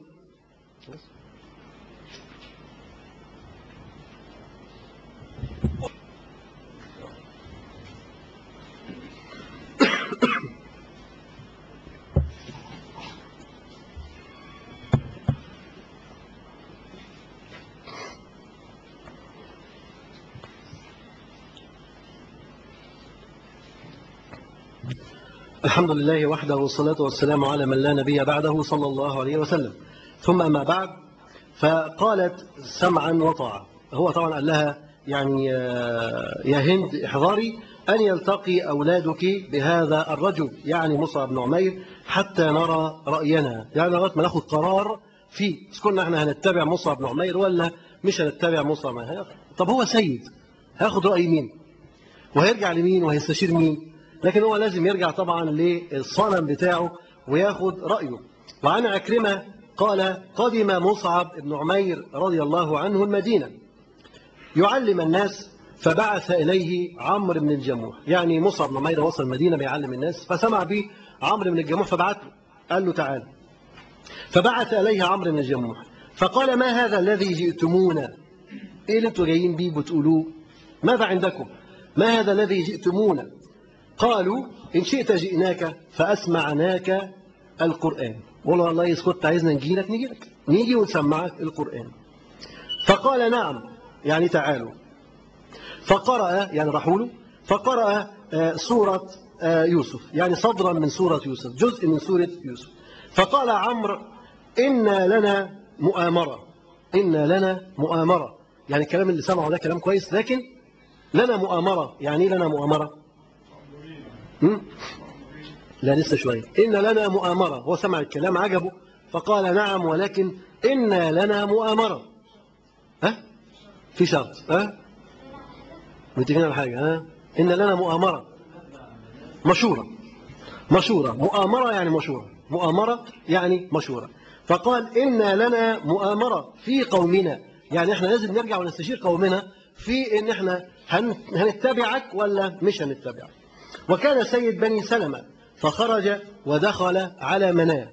المفترض يرجع يعمل مجلس شورى ويتقابل مع قومه ويقول لهم إيه رأيكم؟ وناخد وندي في الحوار. لكن ده لف ودخل من الباب الثاني على مناة. اللي هي الصنم بتاعه؟ دخل على مناة فقال تعلم والله ما يريد القوم غيرك فهل عندك من نكير؟ دخل بيقول له تعلم والله ما يريد القوم غيرك. دول جايين علشانك انت. هل عندك من نكير؟ ها في كلام عايز ترد عليهم؟ طبعا هيسمع إيه؟ إيه اللي هيسمعه ولا حاجة مش يسمع حاجة طبعا منه. فالمهم هو لما قال لزوجته ما تخليش الأولاد يقابلوا مصعب ومير حتى نرى رأينا فيه فقالت سمعا وطاعه قالت سمعا وطاعه هي مسلمة وحريصة على إسلامه لكن هي فاهمة إن الموضوع يجي حبة حبة خطوة خطوة. مش تقول بقى لزوجها أنت كافر. انت بقيت بتعمل كذا وبتعمل كذا وبتعمل كذا انت عاصي انت فاسق. تشويش عليه هو هيتغير. هي ممكن تكون التزمت قبله فهو لسه ما التزمش. يبقى خطوة خطوة عليه لغاية ما هو يلتزم وهو يتغير. لكن دفعة واحدة ربما لا يقبل منها هذا التصرف. أحيانا مثلا بعض الأخوات أو بعض الزوجات يكونوا عادي خالص زي النساء تروح الجامع وتسمع الدرس فتحب ال... وتلتزم وتبقى أخت ولزوجها لسه بقى. بيشرب سجاير وبيقعد على القهوة وبيتفرج على التلفزيون وليه شلة و... حاجات كتيرة. طبعا هي بقى في البيت بقت أخت بتصلي وبتعبد ربنا. وبعدين تشوف زوجها مثلا ما بيصليش تقول له أنت ما بتصليش ليه؟ أنت كافر أنت فاسق مش واكلة معاك. اطبخي لا مش طبخه اعجني لا مش عجنة. اعملي لا مش عاملة. وبعدين يقعد مع أصحابه ولا يخرج مع أنت بقيت كافر أنت بقيت فاسق. وتفضل عليه كده طب هو دوت هيسمع كلامها؟ مش ممكن بقى خلاص دي هي اولا دي هي امرأة. لما تقول له أنت فاسق أنت كافر أنت مش ملتزم أنت مش كذا مش كذا يبقى مش هيسمع كلامها. ولكن يحتاج الأمر إلى اللين والرفق اللين والرفق. فهذه المرأة اولا كانت تحبه وتجله وتشفق عليه من أن يموت على الكفر. يعني كانت حريصة إن هو يدخل في الإسلام. فقالت سمعا وطاعة ولكن هل لك أن تسمع من ابنك معاذ ما يرويه عن هذا الرجل؟ قلت سمعا وطاعة حاضر. مش هخليهم يقربوا له. بس ممكن تسمع إيه اللي هو سمعه؟ فطبعا الراجل اتصدم هو سمع؟ ده أنا بقول لك ما يسمعوش. هي بتقول له طب اسمع. اللي هو سمعه من من من مصعب ابن عمير. فقال ويحك وهل صبأ معاذ كفر؟ اتبع مصعب كفر خلاص؟ وهل صبأ معاذ عن دينه وأنا لا أعلم؟ كفر وخرج وساب الدين وأنا ما أعرفش. ما عنديش علم. الرسول حتى كنت قلت لي كنت خدت رأيي في الموضوع دوت شوية يكفر من غير ما يقول لي. طبعا النظام نظام أوروبي اللي عايز يبقى كافر يبقى كافر اللي عايز يبقى يهودي يبقى يهودي اللي عايز يبقى إسرائيلي يبقى إسرائيلي أي حاجة. اللي عايز يروح أي حتة يروح. جاهلية.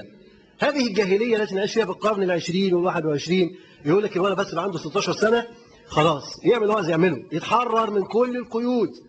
يروح بقى يتزوج ما يتزوجش يغير ديانته يغير اسمه يغير. لو غماء وكمان أقل من كده. ده النهارده كمان الولد وهو صغير لو أي حاجة حصلت له أي مشكلة حصلت له أبوه مثلا لو ضربه في البيت يتصل مثلا على 16000 على طول يبص يلاقي برنامج علي صوتك طلع له. عايز إيه؟ ابويا بيضربني يجي يقبض على أبوه. تضربه ليه؟ بأدبه. تأدبه ليه؟ مش في حرية؟ سيبه يطلع مؤدب. مؤدب مش مؤدب مش مؤدب أنت حر. هو حر. خربوا الدنيا. خراب خراب للدنيا والعياذ بالله. هذه هذا الرجل طبعا انزعج إزاي سمع من مصعب من غير ما اعرف من غير ما هو كفر من غير ما اعرف فقال ويحك وهل سبع معاذ عن دينه وأنا لا أعلم؟ فطبعا الست أشفقت. راجل ممكن يكون عنده القلب عنده الضغط ما كان الأمراض دي كانتش موجودة قبل كده خلي بالك. حتى في الجاهلية ما كانتش موجودة. لكن لما كثرت المعاصي والذنوب اللي بيننا عمت الأوبئة وعمت الأمراض التي لم تكن في أسلافنا. نتيجة كثرة الذنوب والمعاصي والعياذ بالله. رغم دول كانوا لسه على الكفر والجاهلية ما كانش عندهم الأمراض اللي إحنا بنعاني منها دي كلها. فقال ويحك هل صبأ معاذ عن دينه وأنا لا أعلم؟ فأشفقت المرأة الصالحة على الشيخ وقالت كلا ولكنه حضر بعض مجالس هذا الداعية وحفظ شيئا مما يقوله. شوف بقى دول لمسات الحوار. بتقول له لا لا لا, لسه شوية ما تقلقش. هو كل ما هناك إن هو حضر بعض المجالس وكأن المجالس مجالس مفتوحة فهو حضر وحفظ. لأن هي هتقول للابن تعالى سمعه. طب تعالى سمعه إزاي؟ أكيد أنت حافظ. حفظت منين؟ فهي مرتبة الموضوع. هو حضر وأثناء حضوره حفظ بعض الكلام اللي كان بيتقال. وهذا يدل على قوة حفظهم أيضا رضي الله عنهم. مجرد ما يقعد يتكلم الكلام يتسمع يتحفظ مباشرة. فقالت كلا ولكنه حضر بعض مجالس هذا الداعية وحفظ شيئا مما يقول فقال ادعوه لي. خلاص هاتيه. طالما الموضوع كده وهو لسه ما كفرش ويدوبك مجرد معلومات وثقافة عامة خلاص مش مشكلة نسمع منه اللي هو هيقوله. فقال ادعوه إلي. فلما حضر بين يديه قال أسمعني شيئا مما يقوله هذا الرجل. قال له سمعني حاجة من اللي بيقولها هذا الرجل. مش عايز يكرر هو هذا الداعية هذا المصلح هذا المرشد هذا لا. هذا الرجل بيقول إيه؟ سمعني بيقول إيه؟ فقال بسم الله الرحمن الرحيم وقرأ الفاتحة الحمد لله رب العالمين. الرحمن الرحيم مالك يوم الدين. إياك نعبد وإياك نستعين اهدنا الصراط المستقيم. صراط الذين أنعمت عليهم غير المغضوب عليهم ولا الضالين. فالراجل قال ما أحسن هذا الكلام؟ كلام جميل جدا. ما أحسن هذا الكلام؟ وما أجمله؟ أو كل كلامه مثل هذا؟ كل كلام حلو كده. انت بقى بتحس بلذة الفتحة وقفة صغيرة بس كده اهو. انت بتحس بلذة الفتحة في في حد بيحس بلذة الفتحة يقول الفتحة بنقراها كل يوم كم مرة؟ على الأقل كم مرة؟ على الأقل 17 مرة. على الأقل من غير سنن. على الأقل 17 مرة. كم مرة حسيت بلذة الفاتحة؟ كم مرة استشعرت معاني الفاتحة؟ إياك نعبد وإياك نستعين.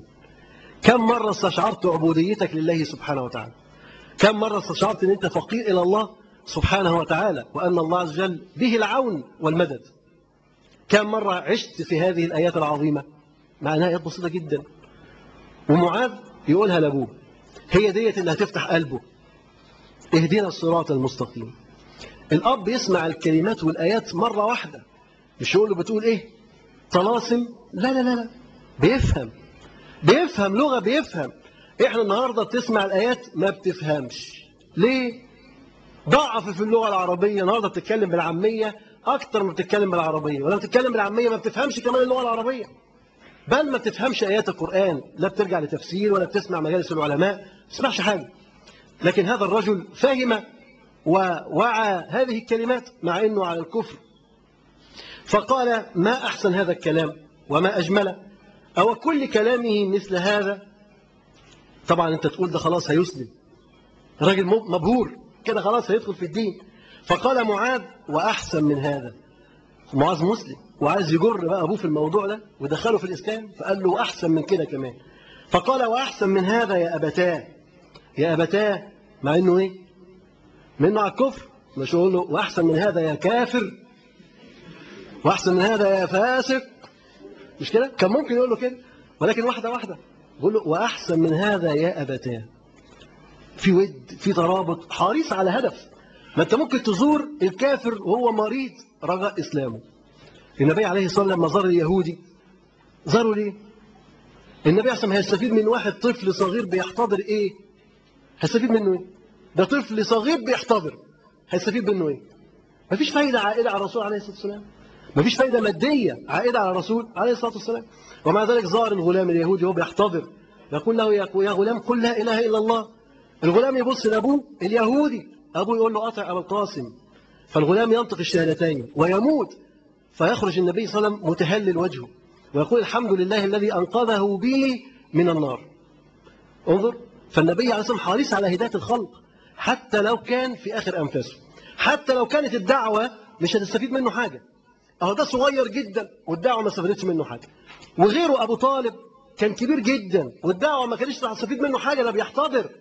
ومع ذلك النبي عليه الصلاة والسلام يقول له يا عمي كل كلمة أحاج لك بها عند الله. كلمة أحاج لك بها عند الله. كان عايز منه إيه؟ كان هيستفيد منه إيه لما يقولها؟ كان يدخل الجنة. لكن واقعيا في حياتنا ودعوتنا ما كناش نستفيد حاجة مادية لكن هو الراجل اللي كان هيستفيد. تخيل لو إن أبو طالب قالها كان راح فين؟ كان راح الجنة. لأن النبي صلى الله عليه وسلم قال له كلمة أحاج لك بها عند الله. قل لا إله إلا الله.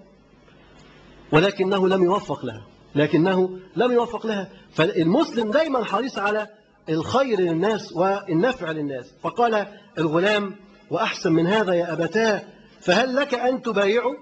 على طول الغلام بيفتح سكة. بيقول له ده كلامه أجمل من كده كمان.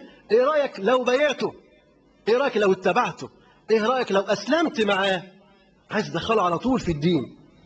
فقومك جميعا قد بايعوه فالشيخ سكت. الراجل إيه؟ سكت. كلام كويس كلام مقنع بس برضه هو متردد. متردد ليه؟ عايز يسأل مناه مناه اللي جايباه لورا عايز يسأل مناه ديت ولا مناه عايز يسألها ويرجع لها. فمتردد مش عايز ياخد قرار. لسه الراجل متشدد. عايز يرجع للآلهة والأصنام. لسه في قلبه صنم عشان كده بنقول إن إحنا نكسر الأصنام اللي جوه الأول عشان ما يلاقيش حاجة يرجع لها. لو كسر الصنم اللي جوه ما كانش راجع لحد. لكن هو لسه حاسس إن في صنم جوه. لازم يرجع له. لازم يرجع له. لكن تحطيم الصنم ده يجي يرجع ما يلاقيش حاجة يرجع لها يرجع لربنا. يرجع لله سبحانه وتعالى. فقال الرجل أو سكت الشيخ قليلا ثم قال لست فاعلا حتى أستشير مناه فانظر ما يقول. قال له مش هقدر أديك رأي دلوقتي. مش هقدر أديك قرار دلوقتي لغاية ما استشير مناه لكن أنت تحس من الحوار كده إن الحوار بدأ إيه؟ بدأ يترطب. الجو بدأ يهدى شوية. بدأ يميل الراجل بدأ يميل. قال له مفيش مشكلة. لكن مش هقدر أديك قرار غير لما أرجع لمناه يعني مبدئيا مفيش مانع. بس لازم أرجع للصنم. لازم أرجع للقوانين الوضعية. واشوف تتلائم وتتناسب مع الرأي الجديد ولا لا. أشوف. لابد أن أنا أرجع. فقال له الفتى الفتى حريص إن هو يدخله في الدين على طول. فقال له الفتى وما عسى أن يقول مناه ممكن يقول إيه ده؟ عقبه ده اللي في السكة ده هيعمل إيه؟ عايز يعني عايز يشتم مناه ده. فيقول له وما عسى أن يقول مناه يا أبتاه وهو خشب اصم لا يعقل ولا ينطق. أهو ده كده سب الآلهة بقى. شتم بقى الآلهة. قال له هيعمل إيه يعني؟ ده بيسمع ولا بينطق؟ ده خشب. عايز يقول له ده لوح. مش زي اللوح. عايز أقول له ده لوح. لا بيسمع ولا بينطق. ده خشب. هيعمل إيه مناه يا أبي فوق. مش هينفع كده. فوق. خلاص. أسلم مع هذا الرجل الداعية الطيب. فقال الشيخ في حدة قلت لك لن أقطع أمرا دونه. خلاص الحوار سخن. قال له قلت لك مش هتصرف غير لما أرجع له. خلاص يا عم ارجع لمناه ارجع لمناه طالما أنت شايف انك هترجع يرجع مش مشكلة بقى. الأمور احتدت. الأصول ان الداعيه ما يوصلش الحوار للحدة ديت. خليك أنت بقى إيه يعني لبق ولين وزي ما بيقولوا دبلوماسي في حوارك. ما ت... لا تصل بالحوار إلى هذا الصدام. إن يقول لك لأ قلت لك كده. لأ مش هعمل. أو تضطر اللي قدامك إنه ياخد قرار. قال لك لما استشير سيبه يستشير. مش مشكلة. قال لك طب لما أفكر سيبه يفكر. ما تقولوش هي دي حاجة محتاجة تفكير. يا راجل دي جنة. انت بتفكر في إيه؟ مالكش دعوة هو ليه موازين تانية؟ هو ليه حسابات تانية؟ يقول لك أفكر سيبه يفكر. مش مشكلة. هيخسر إيه يعني؟ يوم يومين سيبه يفكر. ولعله بعد ذلك يدخل ويكون أكثر استقرارا بدل ما يبقى عنده نفرة. فقال له الشيخ في حدة قلت لك لن أقطع أمرا دونه. ثم قام عمرو بن الجموح إلى مناه. دخل على طول على جوه على الأوضة اللي بيعبد فيها مناه. وكانوا إذا أرادوا أن يكلموه جعلوا خلفه امرأة عجوزا. يضحكوا على نفسهم عايزين يكلموا مناه ويسمعوا صوته. يعملوا إيه؟ يجيبوا ست عجوزة عندها 100 سنة ولا حاجة ما بتعرفش تجمع يعني مهنجة. يحطوها ورا الصنم. يحطوها ورا الصنم ويسيبوها تخرف. تقول اللي تقوله. واللي تقوله يقولوا عليه هو ده اللي أراده الصنم.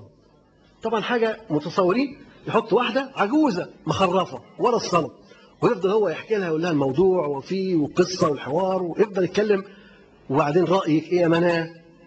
فمناه اللي ورده المرده اللي ورا اللي هو حاططها. بيضحك على مين ده؟ حاجة جاهلية. الحمد لله الذي هدانا للإسلام. جاهلية. هو اللي عامل الصنم وهو اللي حط الست ورا الصنم بيضحك على نفسه. دي يعني بيلعب استغماية ده ولا إيه؟ حاطط واحدة وبيستني ردها طب ما ترد على نفسك أنت واتكلم خلاص إيه داعي لهذا كله؟ فكانوا يدعون امرأة عجوز فتجيب عنه بما يلهمها إياه. هم متخيلين إن هو بيلهمها وهي بتتكلم. أصل هو ما بيعرفش يتكلم. ثم وقف أمامه أمام الصنم بقى بقامته الممدودة واعتمد على رجله الصحيحة. فقد كانت الأخرى عرجاء شديدة العرج. فأثنى عليه أطيب الثناء. وقف قدام الصنم ممدود. أكنه بيحيي العلم وده حرام. أكنه بيحيي العلم. وقف ممدود كده أهو وانتباه.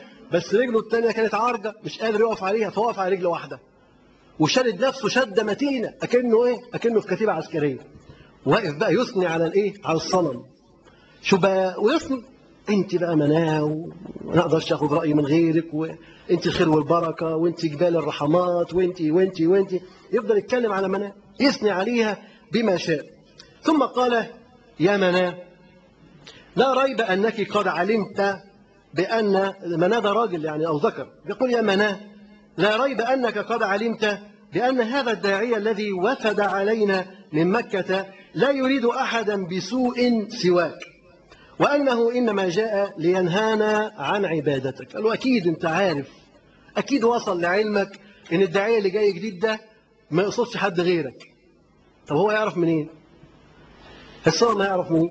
هو يعني هو بيضحك على نفسه. بيقول له أكيد طبعا أكيد طبعا أنت عرفت. معلومات دي مش معقول تستخبى عليك. ده أنت صنم من الخشب إزاي مش معقول الموضوع دوت يعدي عليك. لا أكيد وصل لك يعني. فقال يا مناه لا ريب أنك قد علمت بأن هذا الداعيه قد الذي قد وفد علينا من مكة لا يريد أحدا بسوء سواك.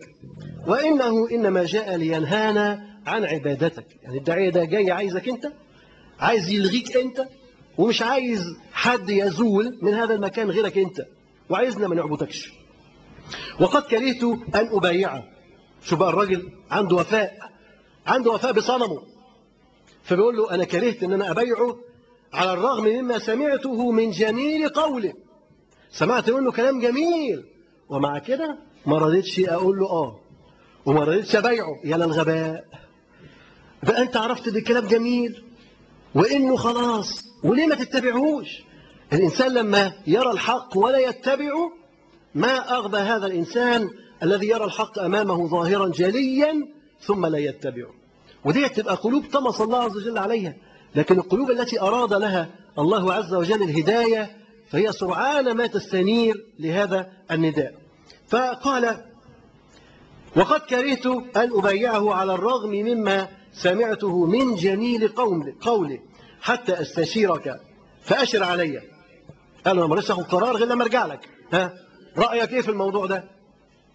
عايز رأي مناه طب مناه ممكن يتكلم ممكن يقول له رأي. قول له ها رأيك إيه في الموضوع ده؟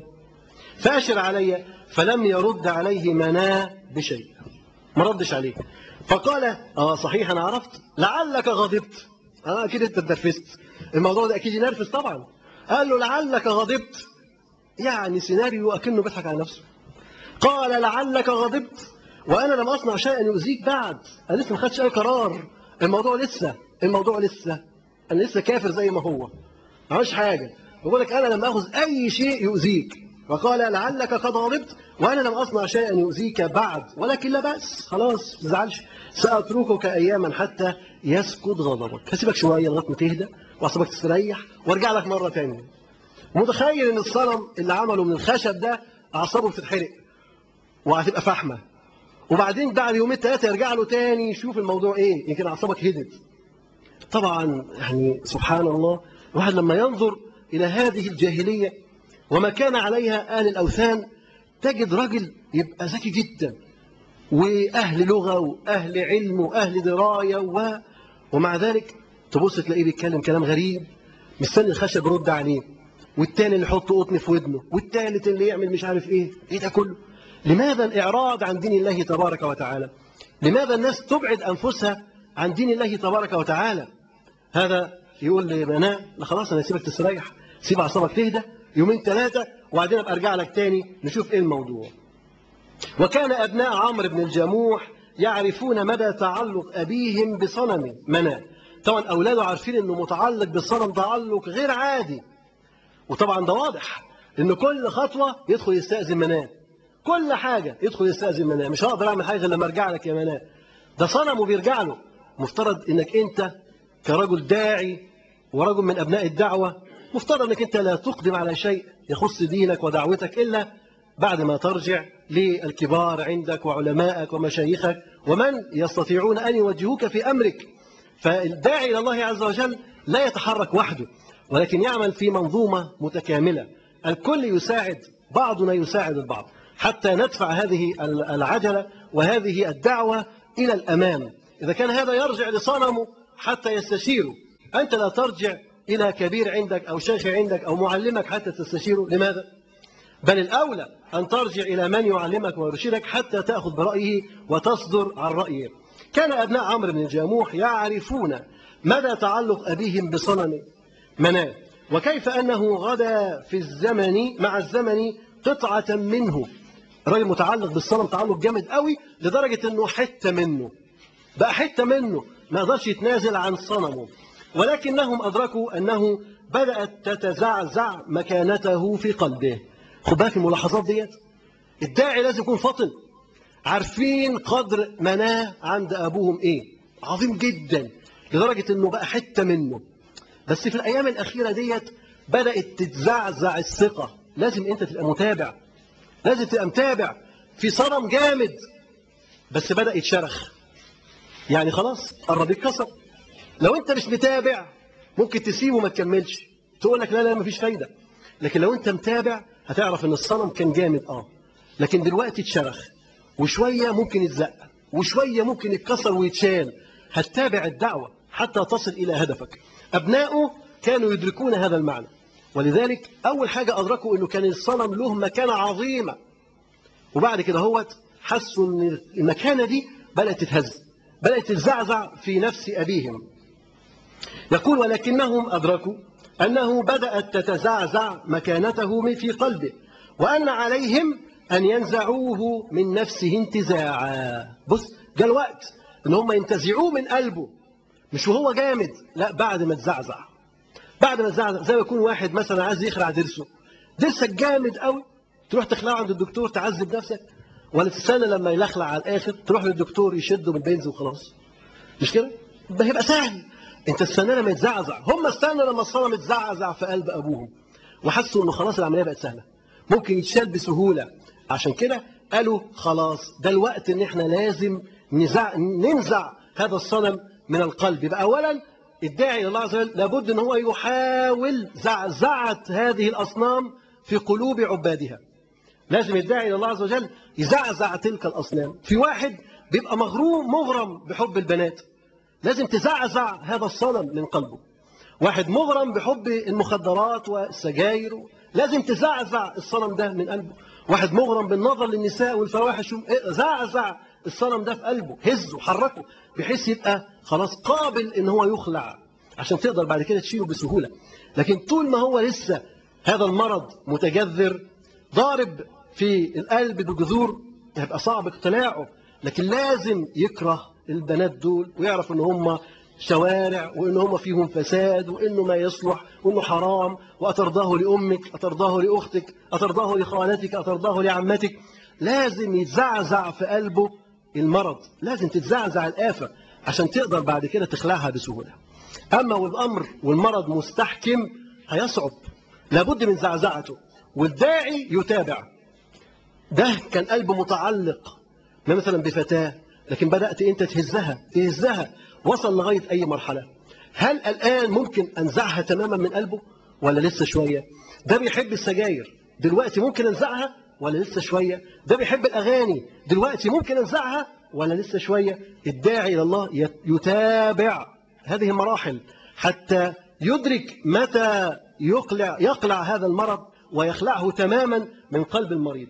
فأولاده رضي الله عنهم أدركوا أنه بدأت تتزعزع مكانته في قلبه وأن عليهم أن ينتزعوه من نفسه انتزاعا فذلك سبيله إلى الإيمان. هو ده طريق استقامته. لو اتخلع من قلبه هيستقيم. ممكن واحد يكون عبد شهوة. لو الشهوة دي اتخلعت من قلبه هيستقيم. يمارس عادات سيئة يفعل فواحش منكرات. لو اتشالت دي من قلبه هيستقيم ويبقى كويس.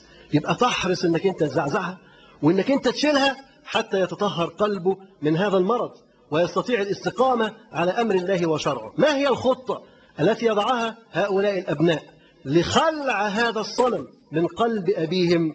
هذا إن شاء الله يكون حوار الأسبوع القادم ونكتفي بهذا القدر وسبحانك اللهم وبحمدك أشهد أن لا إله إلا أنت أستغفرك وأتوب إليك. والسلام عليكم ورحمة الله وبركاته.